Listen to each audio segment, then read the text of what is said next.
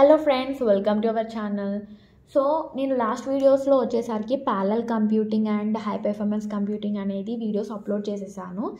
So if you want to check them I will provide the link in description so you can watch from there so ఈరోజు వచ్చేసరికి cluster computing అనేది చూసుకుందాం. అసలు cluster computing అంటే ఏంటి అనేసి అంటే a computer cluster is a single logical unit consisting of multiple computers that are linked through LAN అంటే మనకి ఏంటంటే క్లస్టర్ అంటే ఒక సెట్ అనమాట ఒక సెట్లో మనం అన్ని కంప్యూటర్స్ అనేవి మనం ఒక క్లస్టర్గా మనం మేక్ చేసుకుంటాం అనమాట అండ్ ఈ క్లస్టర్ అనేది మనము మల్టిపుల్ మనం ల్యాన్ తోటి కనెక్ట్ చేసుకుంటాం అనమాట ల్యాన్ అంటే ఏంటి? లోకల్ ఏరియా నెట్వర్క్తోని కనెక్ట్ చేసేసుకుంటాం అనమాట అది క్లస్టర్ అనమాట so the networked computers essential act has a single అంటే ఇప్పుడు ఇవన్నీ ఉన్నాయి కదా ఇక్కడ మల్టిపుల్ కంప్యూటర్స్ ఉన్నాయి. బట్ ఇవన్నీ ఏంటంటే మనకి సింగిల్ కంప్యూటర్గా అనేది యాక్ట్ చేస్తుంది అనమాట much more powerful machine computer cluster provides much faster processing speed large storage capacity better data integrity superior reliability and wide availability resource so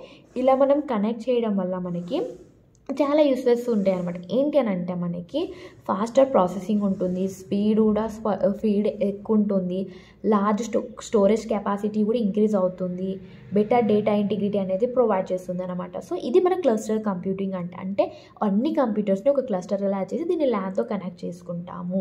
దీన్నే మనము క్లస్టర్ కంప్యూటింగ్ అని అంటాం అనమాట సో దీని అడ్వాంటేజెస్ ఏంటంటే మనకి it helps in reducing cost improve network technology always available in all possible situations అంటే మనకి ఏ సిచ్యువేషన్ అయినా యూజ్ చేయొచ్చు. అంటే నెట్వర్క్ టెక్నాలజీ అని అంటే ఇది నెట్వర్క్ అనమాట నేను షార్ట్కట్లో రాసేసాను. నెట్వర్క్ టెక్నాలజీ అండ్ మనకి డిసడ్వాంటేజెస్ కూడా ఉంటాయి. Where there is advantages well there is a disadvantages also so మనకి ఇక్కడ ఏంటంటే డిసడ్వాంటేజెస్ అనేది దీని కాస్ట్ అనేది చాలా హై ఉంటుంది అనమాట ఎందుకనంటే cluster need good hardware hardware అనేది మనకి క్లస్టర్స్లో గుడ్ హార్డ్వేర్ ఉండాలి. దానివల్ల మనకి దీని కాస్ట్ అనేది హైగా ఉంటుంది అనమాట అండ్ డిజైన్ అంటే డిజైన్ కూడా మనకి హార్డ్వేర్ అయినా కానీ డిజైన్ అయినా కానీ అండి మనకి క్లస్టర్లో అనేది మంచిగా ఉండాలి. గుడ్ డిజైన్ అన్న హార్డ్వేర్ ఉండాలి. So that's the reason cost అనేది హై ఉంటుంది అనమాట it will be costly comparing to a non clustered server management design since clustering need more services and hardware to establish one monitoring and main- maintenance is hard.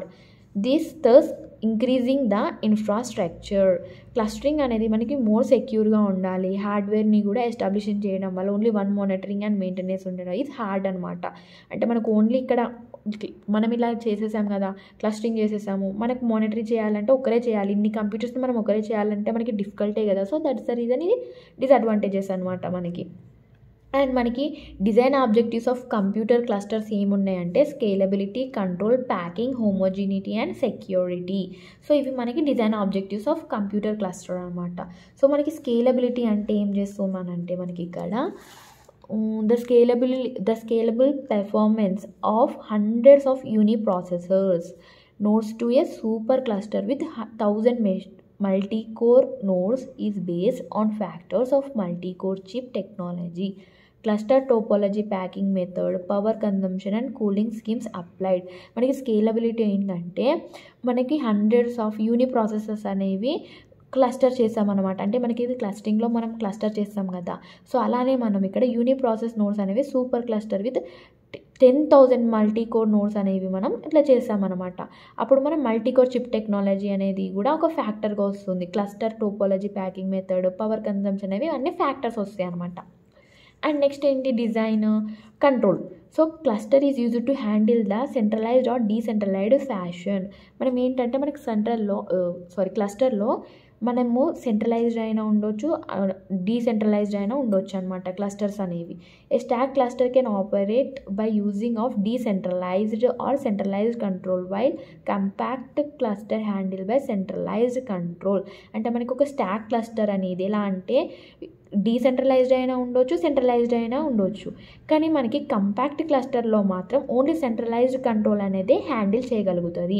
Next design control ఏంటి మనకి అనేసి అంటే packing packing అంటే ఏంటంటే మనకి ఇది ఒక cluster node in a stack or compact manner carried stack or closely packed in one or more racks without any attachments of peripherals అంటే మనకి ఏంటంటే ఇక్కడ? క్లస్టర్ నోట్స్ అనేవి స్టాక్లో అని ఒక స్టాక్ లాగా పెట్టేసుకుంటాం అనమాట మనం ఇట్లా ఒక స్టాక్లో compact cluster where the nodes are closely packaged in one or more racks అంటే ఇందులో నోట్స్ అనేవి ఇట్లా వన్ ఆర్ మోర్ ర్యాక్స్లో అనేవి అరేంజ్ అవుతూ ఉంటాయి అనమాట ఎనీ అటాచ్మెంట్స్ అయితే ఉండవు దీనికి. ఒక వన్ వన్ రోలో ఇట్లా అటాచ్ అవ్వడం.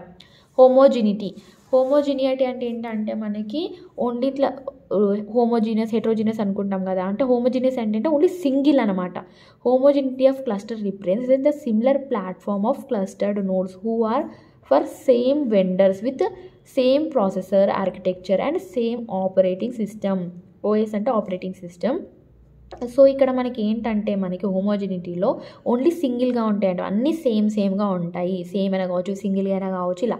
సో మనకి ఏంటంటే సేమ్ వండర్ ఉండాలి సేమ్ ప్రాసెసర్ ఆర్కిటెక్చర్ ఉండాలి సేమ్ ఆపరేటింగ్ సిస్టమ్ అనేది ఉండాలన్నమాట.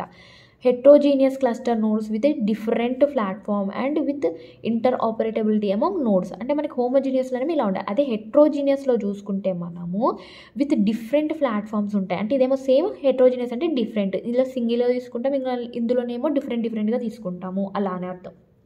నెక్స్ట్ వచ్చేసరికి లాస్ట్ డిజైన్ ఆబ్జెక్టివ్ ఏంటంటే మనకి సెక్యూరిటీ సెక్యూరిటీ అంటే మనం ఏది కన్స్ట్రక్ట్ చేసినా కూడా మనకి సెక్యూరిటీ అనేది మస్ట్ అండ్ షూట్ అనమాట మనం ఏదైనా పాలసీగా మనం ఇవ్వాలన్నమాట. దీనికి ఏది చేసినా కూడా దానికి సెక్యూరిటీ ఉండేలాగా.